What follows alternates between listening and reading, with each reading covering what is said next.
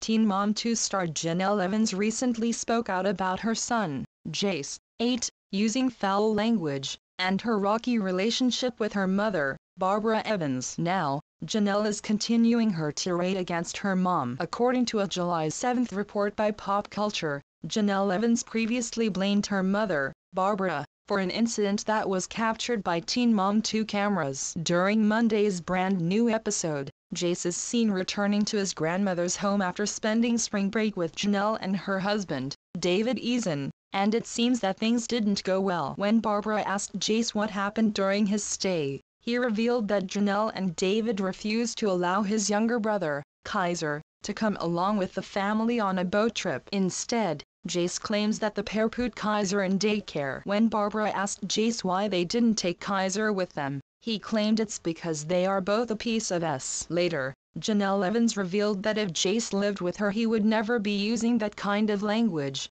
and that she blames her mom, who has had custody of Jace since he was a baby, for his bad behavior and disrespect toward her and her husband.